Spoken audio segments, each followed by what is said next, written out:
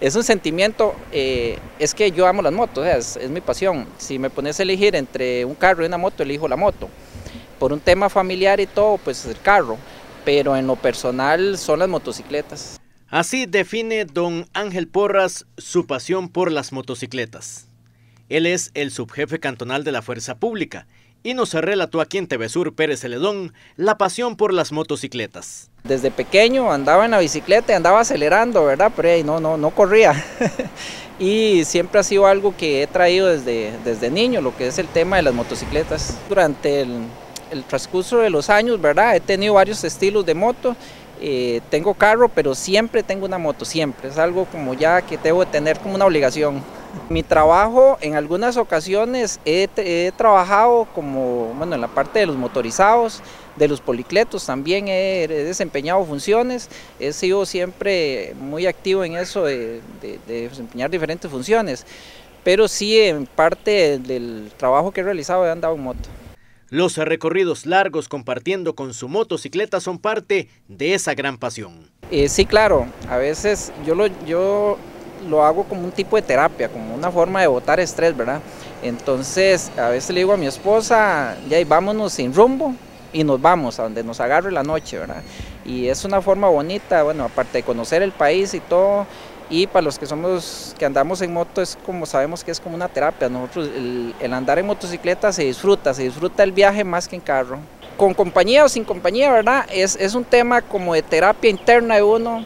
Y he, es, he visto varias escrituras donde dice que uno llora eh, piensa se va en, en un mundo verdad eh, totalmente diferente. No hay unas palabras como para explicar el sentimiento de lo que es andar en motocicleta los chineos para la moto nunca pueden faltar.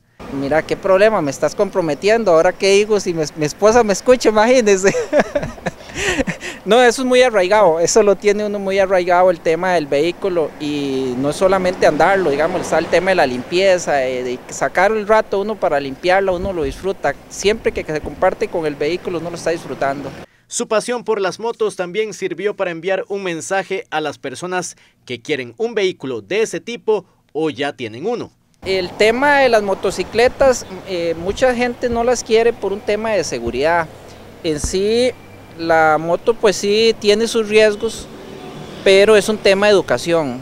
¿verdad? Hay que manejar preventivamente y algo sumamente importante, y quiero aprovechar más bien el espacio, es que se debe andar con equipo de protección. Eso es fundamental. Casi que tenés que comprar primero el equipo de protección y luego la moto eso no lo hacen y muchas veces hay personas que dicen, mira, es que es un ridículo andar uno con eso, es andar jugando de vivo, no, es un tema de seguridad. El casco, el casco no es para el tráfico, mucha gente pone el casco para que no les hagan una multa, no deberían ni de multarlo, o sea, es un tema de, de mi propia seguridad. He tenido un par de experiencias que la moto me ha botado, ¿verdad? No me he caído, me ha botado la moto y no me ha pasado nada claro, el equipo de protección ha quedado destruido totalmente, los guantes, todas estas partes, todo el equipo lo he destruido, pero no me pasó nada. Si no lo hubiesen dado, hubiera sido un gasto económico, porque a veces tal vez se habla un poco del tema de la economía, pero si haces un balance de cuánto vas a gastar en incapacidad, en curaciones y tal vez hasta con fracturas y un montón de situaciones, a lo que realmente amortigua el equipo de protección, o sea, es sumamente económico. Una pasión por las motocicletas.